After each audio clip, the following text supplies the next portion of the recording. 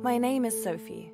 I suffered from fibromyalgia and extreme fatigue syndrome for about 24 years. Today I'm fully healthy. And now I would like to pass on everything I've learned about health and healing and more to support those who are still on a journey. And this is why I create this documentary series and podcast, The Puzzle of Healing.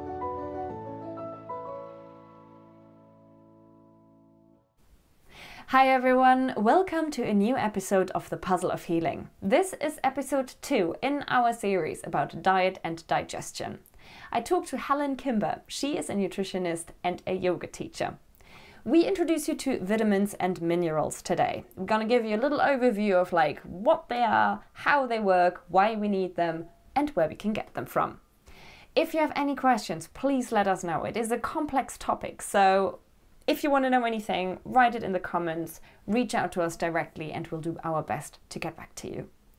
Little reminder in this first half of this series, we're gonna just introduce you to various topics in a healthy condition. So, as if your body is completely fine, your digestion works the way it's supposed to, your absorption works the way it's supposed to. And later on, we're going to talk about dysfunctions. Later on, we're going to talk about various chronic illnesses.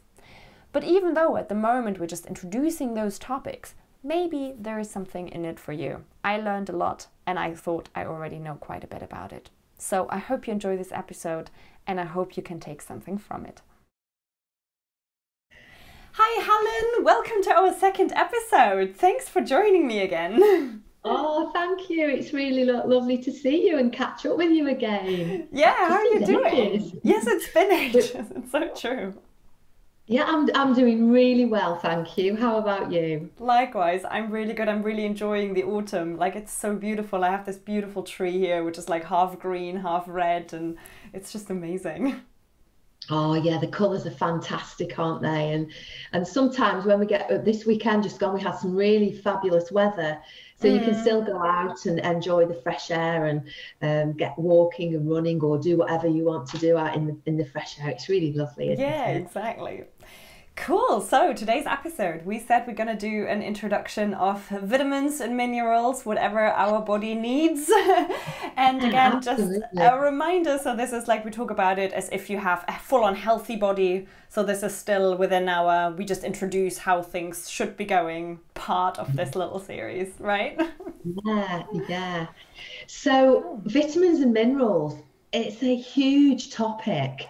And obviously, in the half an hour or so that we've got today, I'm just going to really skim the surface, but that's what this is all about. So that then, if people do feel they need to reach out, they they can do and have a more in-depth uh, discussion and conversation.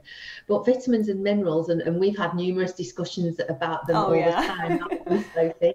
They're all part of um, a really, really healthy diet, and they're required and we term vitamins and minerals as either micronutrients or essential nutrients.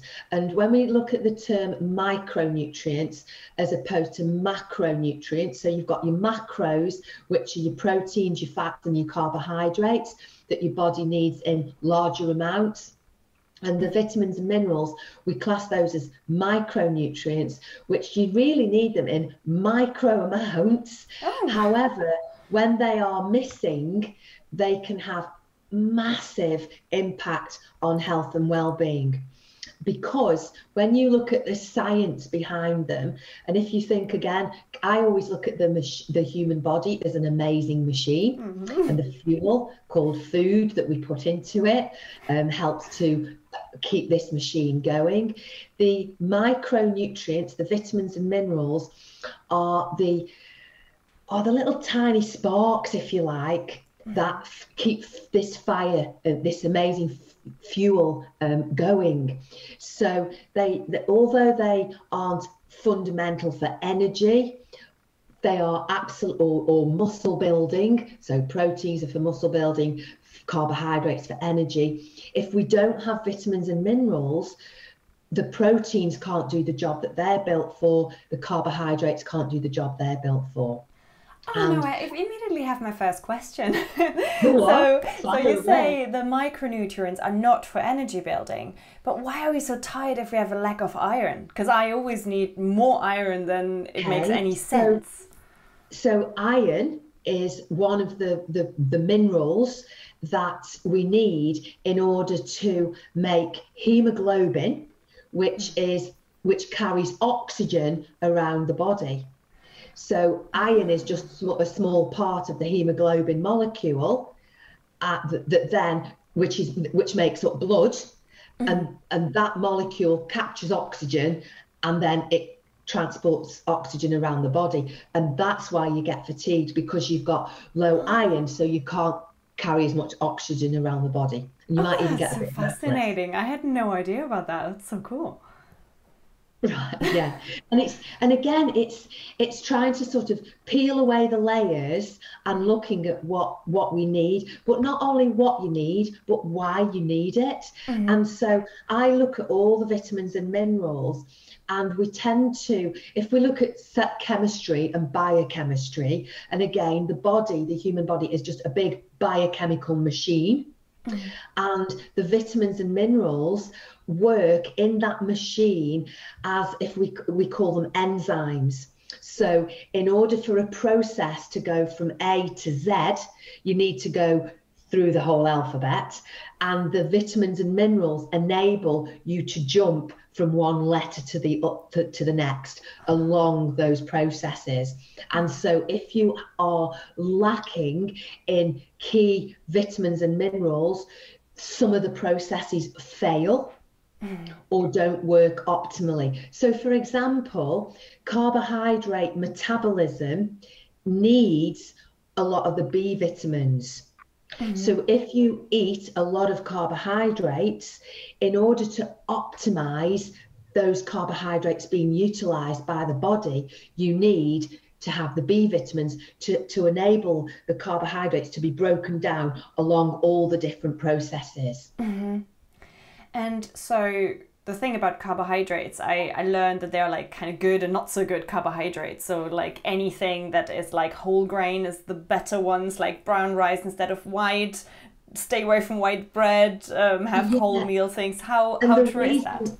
So the reason that carbohydrates are classed as good or bad, and I don't I don't really sit with this, but and as a nutritionist, we mm-hmm. will be speaking, I'm sure, about macronutrients and carbohydrates on one of the sessions. So I don't want to go off tangent and speak okay. about them too much now. But the reason why we are encouraged to, to eat more whole grain, brown rice, wholemeal bread is because the grains contain quite a lot of the B vitamins. Okay. And also they they are also contain fiber, which we were discussing before the recording, mm-hmm. how important fiber is for for your gut health um, and things like that. So so there's there's that's the reason why. Um, but carbohydrates tend to i think form too much we put too much emphasis on carbohydrates in our mm-hmm. diets okay so where would you rather put the emphasis I would put the emphasis absolutely on vitamins and minerals and perhaps proteins and good fats. Mm-hmm. Okay. Because you can still get really good amounts of carbohydrates from fruit and vegetables. Mm-hmm. And they and are richer in vitamins and minerals, I assume. Yeah, you, you get okay. more you get more nutrients for your money, if you like. so, so for example, a banana, which is full of carbohydrates um, has also got potassium in it, which is really good for, it's one of what we call an electrolyte, which mm-hmm. helps with, um, again, all your blood levels of, of electrolytes are essential to help with your heartbeat. Mm-hmm. And the electrical, because we are electrical as well. So the electrical beating of your heart is is it's absolutely essential that we have vitamins and minerals and, and essential nutrients. Mm-hmm. So, what is it all we need? What What are the vitamins? What are the minerals? And okay. can we find an easy to remember way? Because it feels like I heard these things so many times, and there are certain things I keep to have look to look up over and over what they are and where to get them and from. again, it's it's one of those things you'll never you'll never remember everything and i don't remember everything. I've even got some notes now to think oh i need to remember this i need to say that to sophie i have to have a look at things at what we need i'm thinking oh where have i put that piece of paper that i need? So i i always say to keep it really simple to start mm. really really simply if you want to make sure that you have loads and loads of vitamins and minerals in your natural diet, this is before we take supplements, and I'll talk about supplements presently, but and supplements are just supplements. They are to supplement a healthy diet, mm-hmm. not to replace an unhealthy diet. Yeah. So and, and that and that's how how I look at supplements. So if you eat a rainbow, you will get an alphabet. so, and that's the way I remind, uh, remember it. So a rainbow is brightly coloured.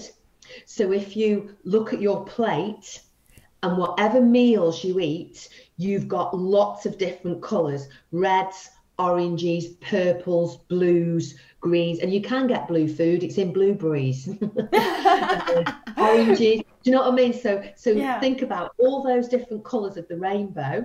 Mm-hmm. And by eating a rainbow, you will get an alphabet. So the vitamins and minerals, you can, you know, vitamin A, vitamin D, vitamin E, vitamin K, and then you've got I call it the periodic table. If you go back to chemistry lessons and science, you have all the different minerals in all the different fruits and vegetables that you that you eat. And for me, and I sort of when I talk to my clients when I do nutrition seminars, that's how I look at it. And then I also say, um, avoid at all costs if you can beige food. Oh, interesting. What about, well, do you count potatoes as beige? Because the skin looks beige, but the Yeah, yellow inside is yellow. Yeah, they're still pretty beige. So Okay. they're full of carbohydrates, and um, research suggests that um, the, the skin of the potato, yes, it's good in fibre and it does provide a certain amount of vitamin C. And that's because in this country, we eat so many potatoes that vitamin that, that we get quite a lot of vitamin C from potatoes, but they're pretty beige. And so if you think beige is great for interior design, it's all neutral. Mm-hmm. It's very bland. and there's nothing there, is there? But it looks great on a wall, it doesn't look so good on a plate. So, and I know cauliflower, cauliflower is, is white and a bit boring, but cauliflower is a cruciferous vegetable that contains certain nutrients uh, that, that are really brilliant for help with, with liver detoxification. Um, so again, maybe that's something we can talk about on another another podcast. Yeah. But yeah, if you start thinking about beige foods like crisps and and bread and quite a lot of carbohydrates, um, and and I'm going to use the word term junk food and quick food. Yeah. It's all pretty beige. What about nuts? Because nuts are usually pretty Oh, good, right? But I some are nuts. brown and, And- some are. and they they are they are on the on the other side of the spectrum. They are beige, but they're a good beige. okay, cool. It's good to remember that And there is for good beige example, food. Brazil nuts are an excellent source of selenium. I read that yesterday and I actually ordered Brazil nuts last night because I want And to have more selenium need- in my food. You only need a couple of Brazil nuts a day. Um, they are and, and nuts have been vilified by um, sort of slimming organisations. Going, oh, they're really fattening and avoid them. And, but they're they're a brilliant source of protein. The fats in them are natural, so the body will utilise them correctly. And like for example, Brazil nuts has have a really good supply of selenium. Seeds as well like things like linseeds are a, a goldy colour, but they are a fabulous source of omega 3, which is an essential oil.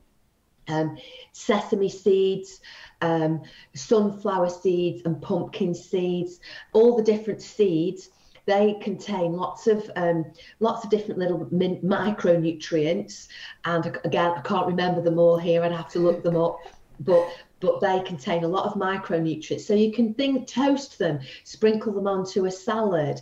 Um, sprinkle them into onto your cereal in the morning, um, or, or, you don't even have to have cereal in the morning. You can eat cereal whenever. muesli, I make my own muesli and I put nuts and seeds in in that mm. muesli um, recipe. And yeah, they're they're really really good source of of micronutrients and um, essential fats if you if you have your seeds. And what about oats? Oats. Although they are a carbohydrate, they are also a good source of protein. They're also a good source of soluble fibre, which, if people have um, IBS type symptoms, very often the fibre that we are encouraged to eat with IBS mm-hmm. can be quite scratchy. So, like your bran fibre can be quite scratchy in, in an inflamed intestine. And so, very often, you need more soluble fibre. So, mm-hmm. oats for, for individuals who can tolerate the, them, they are good for absorbing water, which is great for the large intestine, but also, as well, they provide um, what we call they provide food for the beneficial bacteria, so mm. they are a prebiotic as well. We're going off at all sorts of tangents here, aren't we? Yeah. well, I had to check all the exceptions of the beige food, so it's the food I can think of. Yeah, well, exactly, and it's really good to have a discussion like this. But you wouldn't just eat oats. Again, very yeah. often people will make porridge oats, but I will encourage them and say, yeah, but add some berries. Add some berries to those porridge mm. oats raspberries, strawberries, blueberries, blackberries. So you're getting a little bit of a rainbow on the side of that beige mm-hmm. plate. Yeah, I always put. Um, I always have them with oat milk. I put a little yes. bit of hundred percent cacao inside it, cacao powder, yes. and I put seeds on them. So that's pretty yes. often my breakfast, and agave syrup for like a little bit sweetening. So yeah, and again, that's a breakfast I have. Things like that are great. Honey, if people want to use honey, mm. very often I get clients saying, "Oh, am I allowed honey?" Or even, I mean, am I allowed syrup, golden yeah. syrup? And I'll, if you like it, and you don't need that much. You're not going to put like loads and loads of tablespoons of golden syrup. You need a teaspoon, and if that encourages someone to eat a bowl of porridge oats with some berries and a teaspoon of honey or syrup, that's better than them having some crunchy nut cornflakes. Yeah. Yeah, and I guess when, when you say the cornflakes, I mean the processed foods, the problem there yes. is all the sugars yes. and the salt, we do not know how much is in there. Yes. So I guess that one teaspoon of sweet things Absolutely. we add is better than all the processed food stuff, yeah. right? Yeah, most definitely. Yes. So, so that's that's sort of the mineral well that's a, a quick a quick journey through. And and so how how do I know how much do I have to eat of rainbow a day? Um, to make sure I have everything, is there a rule of thumb, something like there that? There is a rule of thumb, and again it's changing all the time. Very often we're, we're encouraged by sort of the government in this country to eat five five portions of fruit and or vegetables a day. And that mm. gives you your fiber um, and and your vitamins and minerals which is great. Then very often you've got to be careful if you are insulin resistant or you or verging on diabetes the amount of fruit that you eat and high highly sugary vegetables, uh, vegetables that are really sort of sweet. So carrots mm-hmm. and parsnips are quite, and beetroot um, is quite sweet. But then that's that's a sort of different aspect. I would say for for generally general health and well-being, as men as much as you can is is really beneficial. But mm-hmm. try not to sort of have loads and loads of, of fruit on its own because at the end of the day it is sugar Mm-hmm. So if you eat lots of fruit, it will get converted by the body into glucose. So it doesn't matter whether you eat a slice of bread, a piece of banana, or a piece of apple. Um, berries are less sugary, but I'm, I'm just talking about, or, or some carrot, so, some of the sugary, sort of sweeter vegetables, the higher carbohydrate vegetables. The body and again, this is where it's such an amazing machine. The body can only use glucose. The brain uses about 500 calories a day of glucose. Mm-hmm. And so, whatever you eat, be it a Mars bar, crisps, an apple, or a banana, when it goes into that amazing machine, things start happening to convert the carbohydrate into glucose. And that's where you have to be mindful of not having loads of sugar because you just get lots of spikes in your blood sugar. And we can, again, we can discuss that at another time. Yeah. Our series keeps growing with more topics. It's amazing. So, I mean, obviously, there are loads of different forms of diets. So, what am I doing? Because I know I, as a, I don't, I'm now since this year eating a lot of fish and since last year reintroduced eggs after having been fully vegan for six years and i realized also thanks to you that this is not the ideal diet for me. So how do i know what diet to follow? What if i to save my life don't want to eat non-vegan? Can i get everything? How do i know what's right for me so that i have all the vitamins? it's, it's very very individual isn't it sophie? Yeah and so veganism for some individuals is absolutely fine. Vegetarianism is for some. And for some people, they, they, they try it and they become quite ill. So mm-hmm. I think what you have to do is really listen to your body. Yeah. And as long as you have the best food and you really listen to your body and you make sure that you have lots of fresh, natural foods I think that's so much better.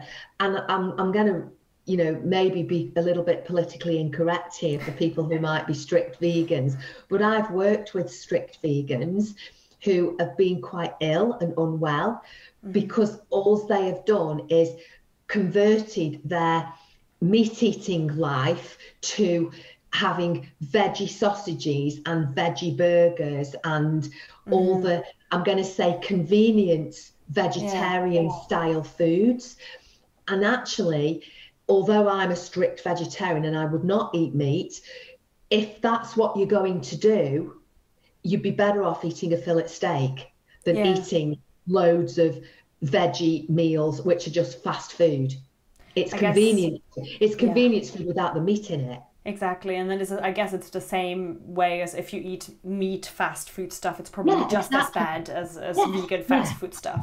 Yes. So in the end, it just comes down to like not processed, good food source, and yes. rainbow. And and the mistake I made, I hadn't eaten enough uh, variety of lentils and beans. That's one thing I also had to learn that um, yeah, as especially as a vegan, you can't just eat lentils. You need a variety of beans as well because there's different proteins in it. Absolutely, and the protein mix. The, well, it's the yeah. amino acid mix, and again, it's it's very sort of looking at your vitamins and minerals. If you if you're stressed, and you put stress on your body by not eating enough food, not mm. sleeping enough, the stress response can absolutely. Even doing too much exercise.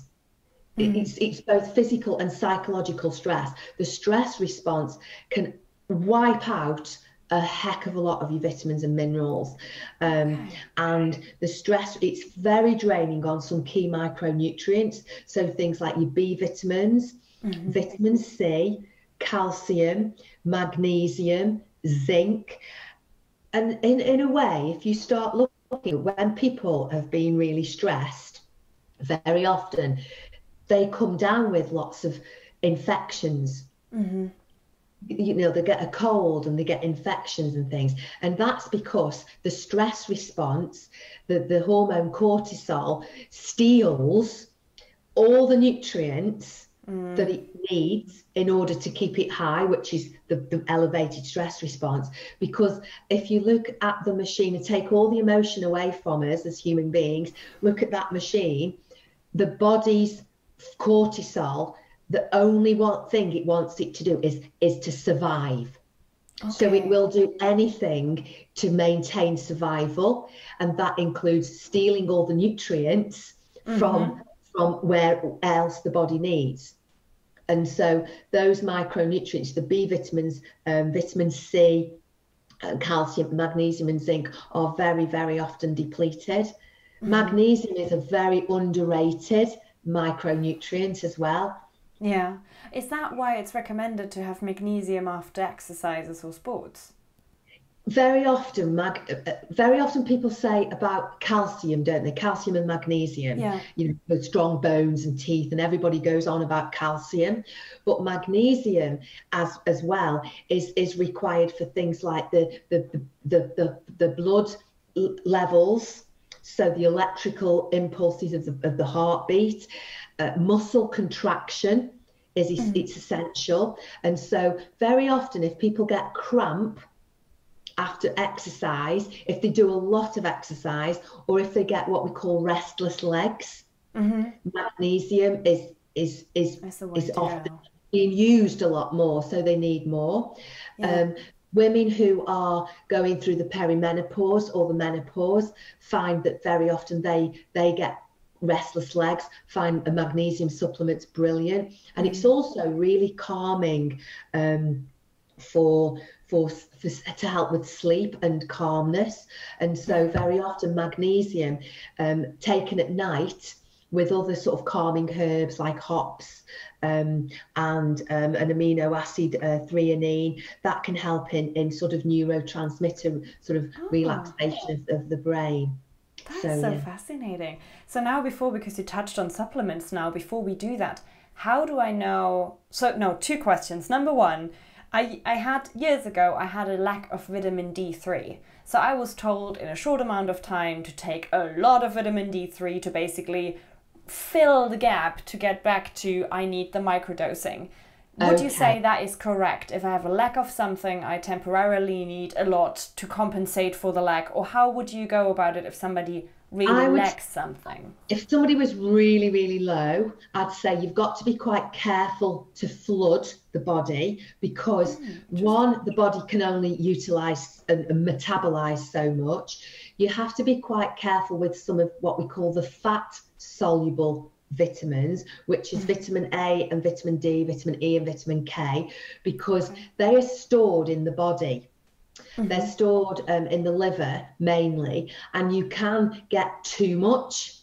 Mm-hmm. And that can end up with, toxicity and things like that. So I would I would never personally suggest flooding the body. Okay. I would say, you know, just take some some really you have a really good diet and then add in um, the, the nutrients. It depends. If you have a malabsorption issue, which you may well have, then you'd have to look at, at the sort of um, tests and things like that. And that's mm-hmm. a little bit different. But generally, if somebody says, Oh, I think I'm low in vitamin D, I don't think it's a good idea to flood the body, particularly mm-hmm. with fat soluble vitamins.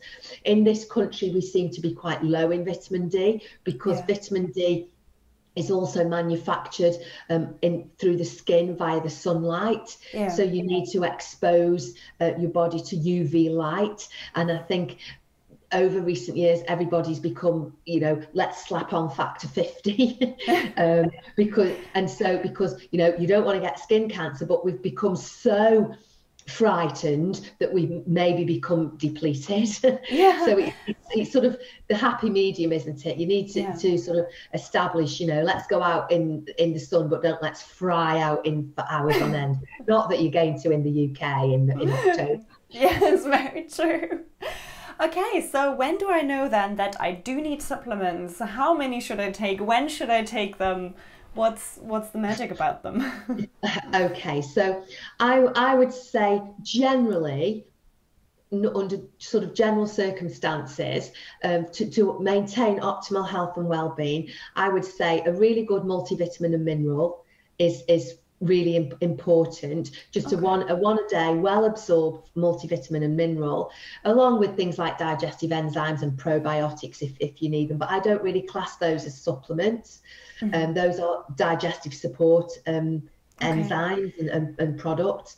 Um, but your vitamins and minerals, I would say a, a one a day if you, you know, for health and well-being, and potentially an essential fatty acid. So mm-hmm. either an omega-3 fish oil or um, or a vegan equivalent, sort of flax oil or something like that. Mm-hmm. Um, and then potentially perhaps a B complex and a vitamin C. Now you can take high doses of vitamin C because it's and the B vitamins they're easily destroyed.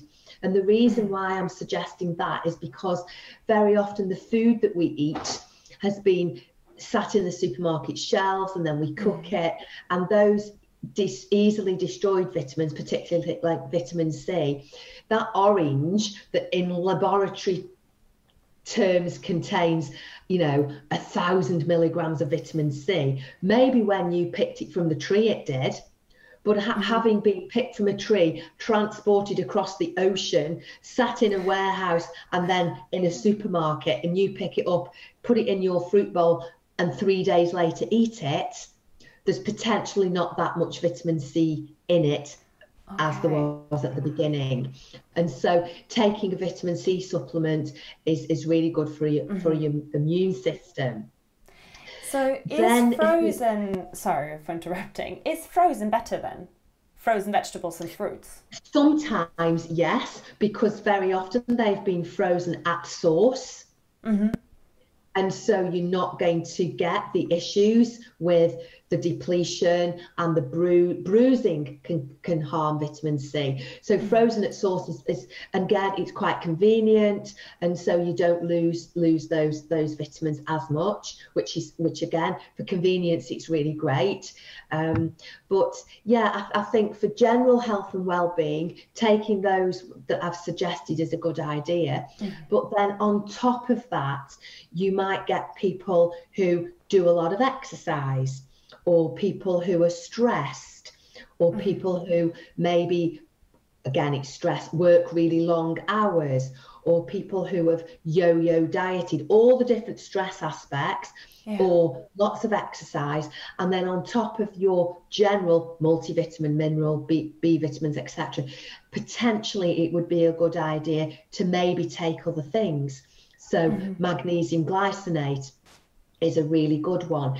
It's brilliant to help with the liver to detoxify. So, again, women who are going through the perimenopause very often find magnesium supplements really helpful because it can support their liver with all these this this estrogen that's that's you know going crazy in our bodies um, and then we've got these antioxidant nutrients so we've got um, they're not just vitamins and minerals, things like glutathione and vitamin A, vitamin C, vitamin E, zinc, selenium. Again, those are called antioxidants. And what they do is they they can mop up items called items called free radicals. And free radicals are ju- they're just they just happen. Breathing causes free radicals. Okay. And free radicals are harmful to us. So they can cause degenerative disease, they can cause cancers, the, the, all sorts of aging disease. Mm-hmm. And inflammation. And so, if you are inflamed uh, or if you have degenerative disease or what have you, it's a good idea to take on more antioxidants in order to sort of sort of mop up these free radicals. But I would suggest if any of that is sort of works for you if that if you're looking and that thinking oh that that's me i need that i wouldn't just start taking any old vitamins and minerals. I would definitely speak to speak to a nutritionist. Mm-hmm. okay. That would kind of come to to my next question. Um, if it feels right is it right?